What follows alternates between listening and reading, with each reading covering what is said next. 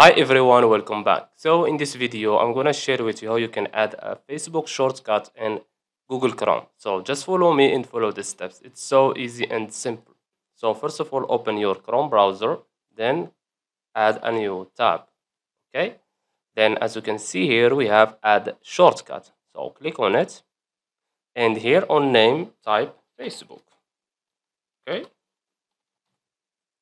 Then here in URL, just type www.facebook.com or you can go just to Facebook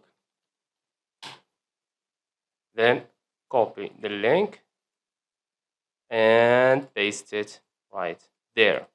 Okay? It's easy and simple. Then click on done. Okay? As you can see here this is the Facebook shortcut so if we click on it we'll go directly to Facebook. And that's it. So I hope you found this video helpful. Don't forget to give us a like and subscribe. Thanks for watching and see you in the next one.